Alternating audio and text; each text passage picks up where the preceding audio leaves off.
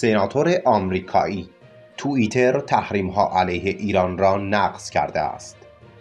فرمانده کل سپاه پاسداران بخش خطرناک قدرت ما پنهان است. ارسال محموله دارویی از کره جنوبی به ایران. سفر اختصاصی مدیران صنایع آلمان به چین. توییتر پیام ترامپ را به علت ترویج خشونت ناپیدا کرد. با سلام و درود. توجه شما را به این بخش خبری جلب می کنیم با ما همراه باشید. یک نماینده جمهوری خواه مجلس سنای آمریکا مدعی شده شرکت توییتر قوانین تحریم ها علیه ایران را نقض کرده است. به گزارش فارس تد کروز سناتور جمهوریخواه آمریکایی در نامه ای به وزارت دادگستری و خزانهداری آمریکا مدعی شده توییتر تحریم ها علیه ایران را نقض کرده است.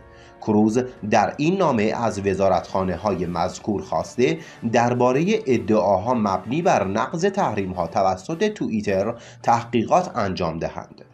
این نامه در شرایطی ارسال شد که دونالد ترامپ رئیس جمهور آمریکا این روزها توییتر را به دلیل اضافه کردن برچسبی برای راستی آزمایی دو پیام او مورد انتقاد قرار داده است. کروز در این نامه از ویلیام بار وزیر دادگستری و استیفن منوشین وزیر خزانهداری آمریکا خواسته بررسی کنند که آیا توییتر با اعطای دسترسی به مقامهای بلندپایه ایران برای استفاده از این شبکه اجتماعی قوانین تحریم ها علیه ایران را نقض کرده است یا خیر. او در این نامه نوشته است این جانب معتقدم هدف نخست قانون اختیارات اضطراری. بین المللی و قوانین تحریم ها باید تغییر رفتار افراد و رژیم های تحت تحریم باشد نه شرکت های آمریکایی. وی اضافه کرده است اما هنگامی که یک شرکت بعد از دریافت اختار رسمی مبنی بر اینکه در حال حمایت غیرقانونی از افراد تحریم شده است آشکارا و آمدان قانون را زیر پا می‌گذارد دولت فدرال باید اقدام انجام دهد. کروز و شمار دیگری از سناتورهای جمهوری خواه در ماه فوریه نامه ای به جک دروسی مدیر عامل توییتر نوشته و از این شرکت خواسته اند حسابهای کاربری مقامهای ایران به این رسانه اجتماعی را مسدود کند. در این نامه نوشته شده است با وجود اینکه متمم اول قانون اساسی آمریکا از حقوق آزادی بیان آمریکایی ها حمایت می کند و توییتر هم نباید سخنرانی سیاسی آمریکایی ها را سانسور کند از هیچ حفاظتی زیل قانون حقوق ایالات متحده برخوردار نیستند.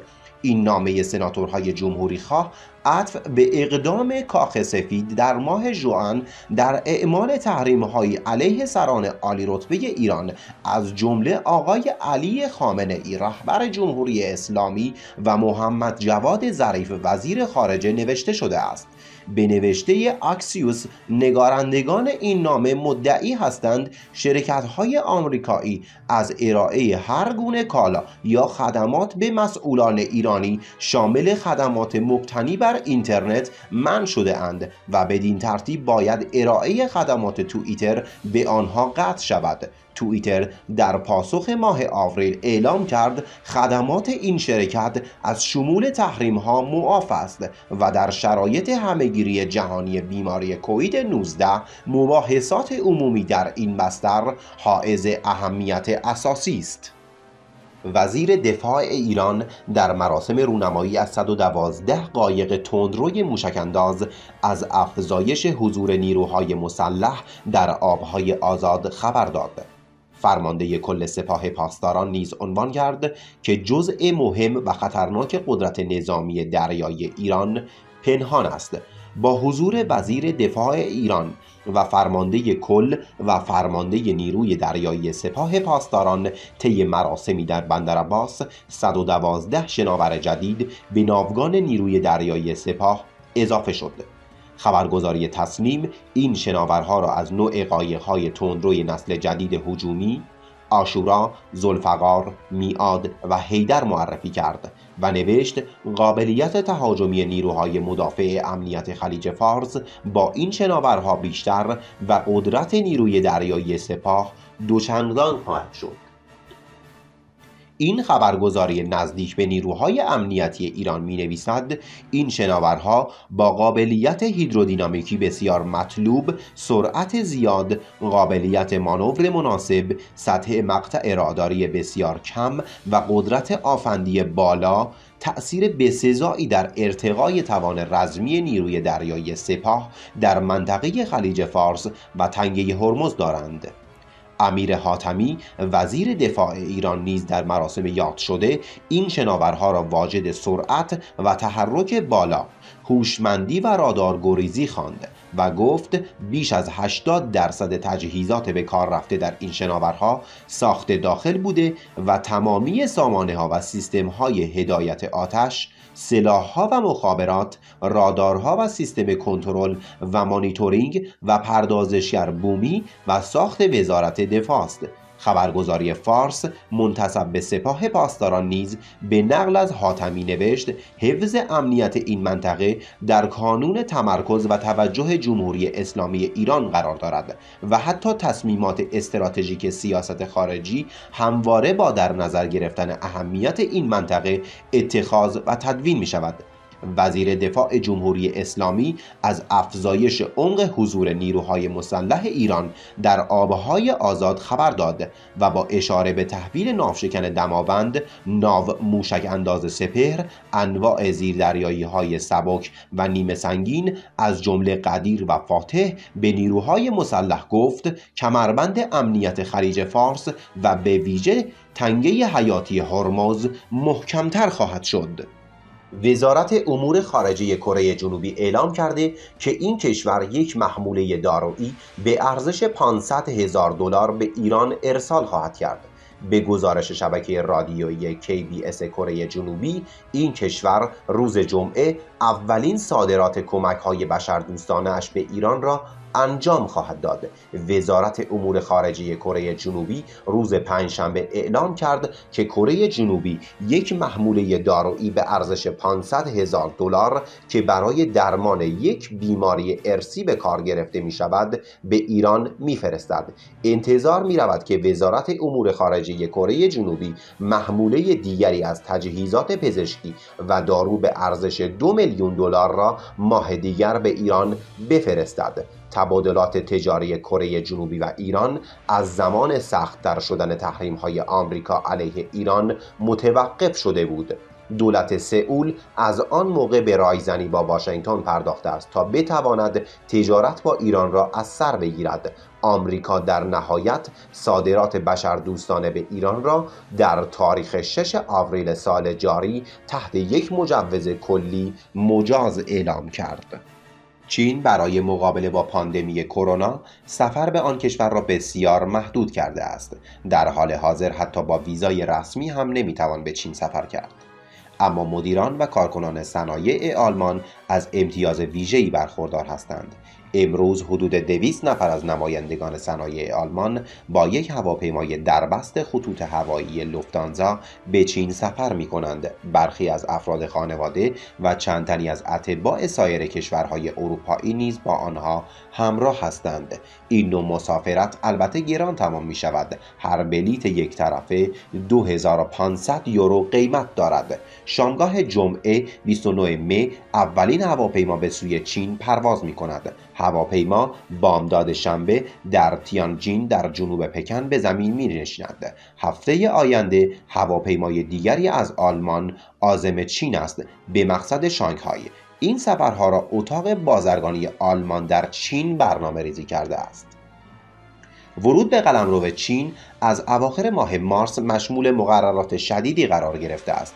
اما مقام های چین برای وابستگان به صنایع آلمان استثنایی ویژه قائل شدند این مزیت البته به آسانی حاصل نشده و با تلاش فراوان اتاق بازرگانی و سفارت آلمان در چین به دست آمده است. همه مسافران باید در کنسولگری چین در آلمان پس از انجام آزمین کوید 19 پروانه مخصوص دریافت می کردند مسافران پس از رسیدن به چین نیز باز با مشکل روبرو هستند. همه آنها باید به مدت دو هفته در هتل قرنطینه باشند و بیرون نروند. به گفته ینس هیلدبرانت از مسئولان اتاق بازرگانی آلمان در پکن این نوعی پرواز نمونه است تا کشورهای دیگر دریابند چه راههایی برای بازگرداندن همکاران خود به چین باز شده است. او امیدوار است که با همکاری مقامهای چین این امر به زودی عملی شود. بنا به گزارش شبکه خبری بلومبرگ پرواز دربست از آلمان مقامهای چین را به فکر انداخته که چنین مسافرتهایی را برای کشورهای دیگر در برنامه قرار دهند. پس دور نیست که به زودی نمایندگان صنعتی و تجارتی کشورهای ژاپن، سنگاپور، کره جنوبی، سوئیس، بریتانیا و فرانسه نیز از چین دیدن کنند. هنوز روشن نیست که مرزهای چین چه وقت به روی مسافران عادی باز می شود. توییتر پیامی از ترامپ را ناپیدا کرده است زیرا آن را مصداق اصل ترویج خشونت تشخیص داده است. ترامپ در واکنش به این اقدام نیز توییتر را به بیعملی در برابر دروغهای حزب دموکرات و چین متهم کرد. شبکه توییتر پیامی از دونالد ترامپ رئیس جمهور آمریکا را به خاطر رعایت منافع عموم از روی حساب کاربری او نه حذف بلکه ناپیدا کرده است. به گونه ای که تنها با محدودیت هایی قابل مشاهده باشد. توییتر معتقد است که توییت رئیس جمهور آمریکا حاوی ترویج خشونت است که کارپایی حقوقی آن شبکه را نقض می کند توییتر ترامپ از حساب او حذف نشده بلکه پشت علامتی ناپیدا شده و کاربران تنها با کلیک روی علامت مشاهده می توانند آن را ببینند و بخوانند اما نمی توانند به آن پاسخ دهند یا به آن لایک بزنند. توییتی که توسط توییتر ناپیدا شده به موزگیری ترامپ در رابطه با منازعات نژادی در شهر مینیاپولیس برمیگردد که به دنبال قتل یک مرد غیر مسلح سیاه پوست به دست پلیس آغاز شده است. ترامپ در توییت خود تهدید کرده است هرگاه غارتگری شروع شود تیراندازی هم شروع خواهد شد. توییتر در توضیح اقدام خود گفته است که توییت را حذف نمی کند زیرا برای عموم اهمیت دارد که از محتوای آن با خبر باشند. این اقدام توییتر نیز بلافاصله با واکنش دونالد ترامپ روبرو شد. او روز جمعه با انتشار توییتی کمپانی توییتر را به بیعملی در برابر دروغها و پروپاگاندای چین و حزب دموکرات که او آن را چپهای افراطی خواند متهم کرد. او گفت توییتر جمهوری خواهان محافظه کاران و رئیس جمهور آمریکا را هدف قرار داده است. ترامپ در این توییت به خواستش برای لغو بند 230 قانون رفتار سالم در ارتباطات که آزادی شبکه های اجتماعی را تضمین می کند اشاره کرد و نوشت که این بند باید توسط کنگره لغو شود. ممنون که تا انتهای این بخش خبری با ما همراه بودید. خدا نگهدار.